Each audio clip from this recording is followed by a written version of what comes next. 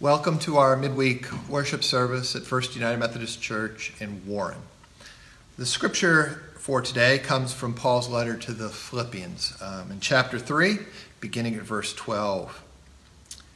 Not that I have already obtained this or have already reached the goal, but I press on to make it my own, because Christ Jesus has made me his own.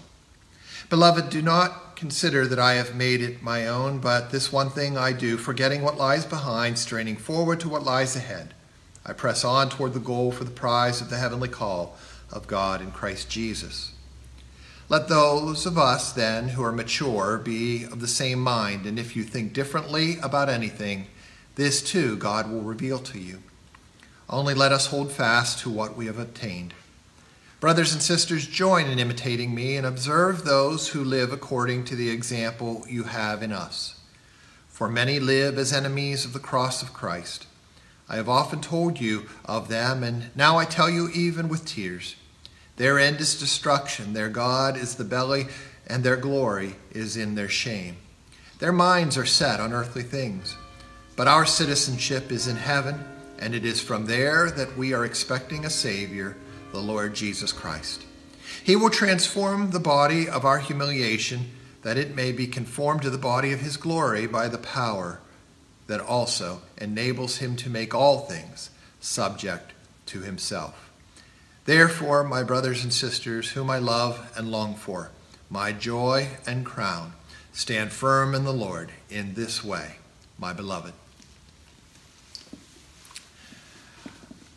I was passing time while reading a magazine. Uh, I was actually sitting in a doctor's office. The article was an interesting one about a herd of African elephants. In an attempt to thin out the herd, the authorities killed off a number of the older males and moved a group of females and young bulls to another area.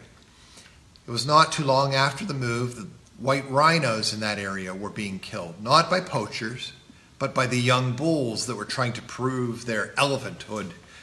One elephant even organized a, a, gang that began attacking tourist buses that came to view them. And to solve the problem, the authorities shot some of the troublemakers, but then came up with a, a better solution. They released a few old males from an, another area into that troubled group. The older males immediately began to bring the young bulls into line. It would appear that the young elephants did not know how to act in their day to day living without an example of the older elephants to teach them. Learning by example is not restricted to the animal kingdom. Just as the elephants needed an example to follow so that they knew how to behave in their day to day living, so also we need an example to follow in our day to day Christian living. In the Word of God before us today, Paul encourages us to follow his example in Christian living. He tells us do not be focused on earthly things, but be focused on Jesus and heavenly things.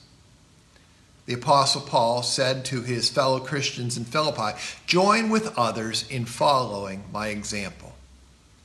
Can you even imagine being able to say that to people without sounding conceited? Now, I would never say follow my example. After all, I know me. I, I know enough about me that I, I don't feel comfortable having people watch me closely enough to see what kind of example I might set. But Paul isn't conceited. He's not being proud. When he said, Follow my example, he, he could say it sincerely because what he meant was, Follow my example as long as I am following the example of Jesus. One morning in 1888, Alfred, the inventor of dynamite, uh, the man who spent his life amassing a fortune from the manufacture and sale of weapons, awoke to read his own obituary. The obituary was printed as a result of a simple journalistic error. Alfred's brother had died, and a French reporter carelessly reported the death of the wrong brother. Any man would be disturbed under the circumstances, but to Alfred, the shock was overwhelming because he saw himself as the world saw him. The dynamite king, the weapon maker, was what was mentioned the great industrialist who had made an immense fortune from explosives. This, as far as the general public was concerned, was the entire purpose of his life. At least that's what the obituary said. None of his true intentions to break down barriers that separated people and ideas were recognized or even given serious consideration. He was quite simply, in the eyes of the public, a merchant of death, and for that alone, he would be remembered. As he read his obituary with shocking horror, he resolved to make clear to the world the true meaning and purpose of his life. That could be done through uh, the uh, distribution of his fortune when the time came for him to pass. His last will and testament would be the expression of his life's ideals. And the result was the most valued of prizes given to this day to those who have done most for the cause of world peace, the Nobel Peace Prize. That caught my eye because I at times wonder how it would read if my obituary suddenly appeared. Think about it. What's your life known for? What will you be remembered for? A group of people called Judaizers were trying to worm their way into the congregation and undermine the gospel message that Paul had brought to the Philippians. Judaizers were Jews or, or, or, Gentile converts to Christianity who claimed to believe in Jesus as their Savior, but they also taught that in addition to believing in Jesus, it was necessary to keep certain ceremonial laws that God had given to Israel. Basically, the Judaizers confused law and gospel. Paul appealed to the Philippians to choose the right example to follow in their Christian lives. Paul said, Take note of those who live according to the pattern we gave you. God blessed the Philippians with some wonderful examples. God had given them Timothy and other Christian leaders. These men whom God appointed as apostles and pastors would be only examples to the congregation needed to learn about Christian living because they lived according to the Word of God. They were faithful, in other words. Anybody teaching something other than the gospel was an enemy, and they should be avoided because they weren't living for Christ. The very thought of people who claimed to be followers of Jesus but who lived contrary to the gospel physically brought tears to the eyes of Paul. Paul writes, For as I have often told you before now, and say, even with tears, many live as enemies of the cross of Christ. Their destiny is destruction, their God is their stomach, their glory is in their shame, their mind is on earthly things. Throughout the scriptures, we're told repeatedly not to be caught up in things of the world. The world teaches us that we are to be selfish, we're to be self centered. Anyone who subscribes to that way of thinking has placed his or her own desires above God. Money, possessions, pleasure, they, they all become gods. They've made, as Paul said, their stomach their God. Their only wish is to fill their sinful appetites. Things gluttony, greed, drunkenness, sex, sexual immorality. Um, those are the appetites of our sinful nature, demands that need to be satisfied. Now just look around. What do you see in the world? You see people who, who find glory in their shame. You find, you find adultery being committed and then people boasting about their sexual conquest. You see, see other, other selfish attitudes being, being rewarded in the world, in the business world. What we once called sin is now considered uh, just different strokes for different folks. They're not uh, condemned as sins any longer. Things God has expressly forbidden because the Bible has, has clearly stated to us we have rationalized away. But everyone who chooses to live this way, according to Paul, is an enemy of Christ. No one is, is neutral.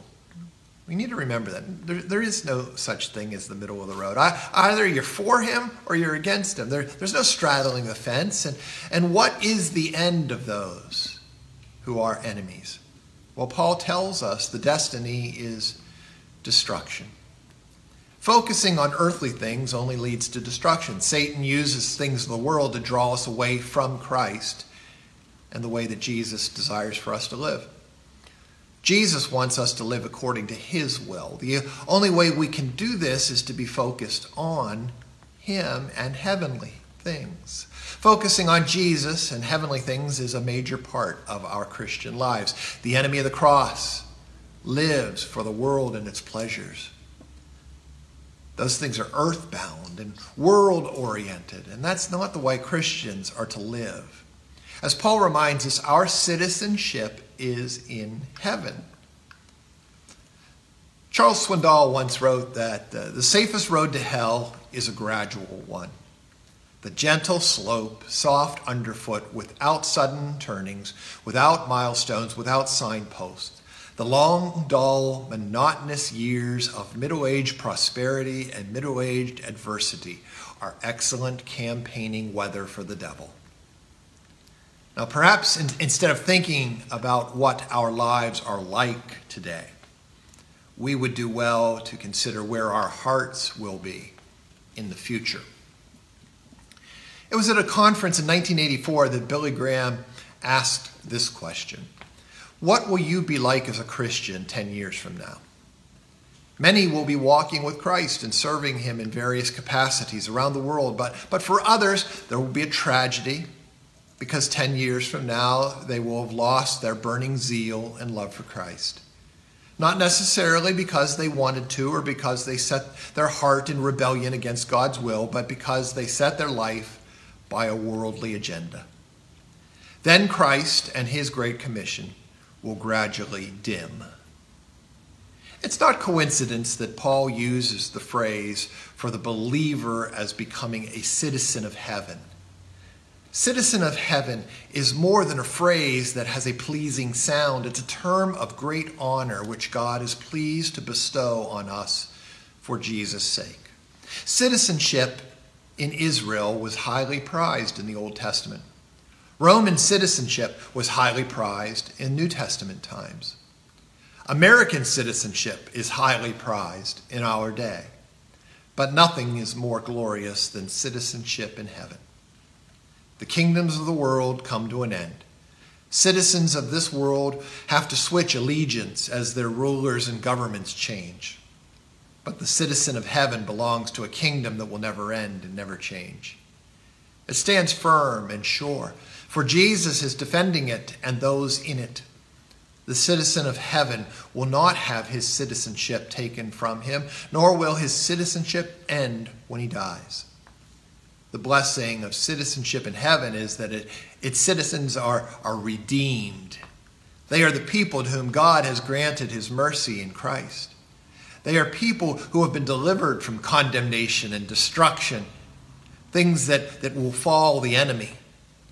Rather than being separated from God as foreigners and strangers, because of Christ, we become fellow citizens with the saints and members of the family of God. We ought to prize our citizenship.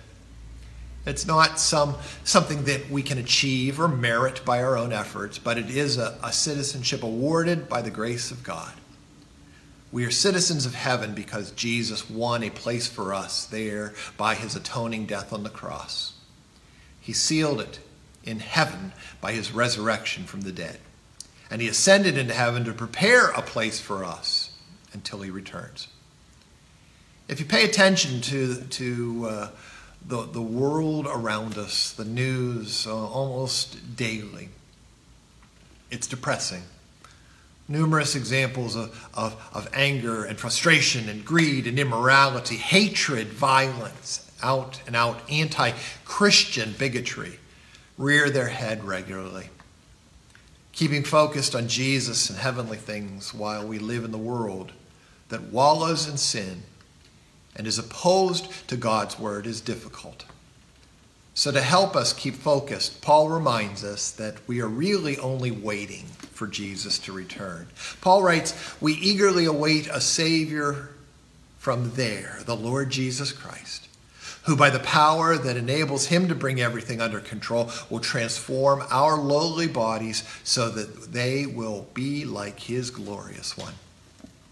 The sin of the world will one day come to a crashing end, and Christ, the great King and Judge, will appear.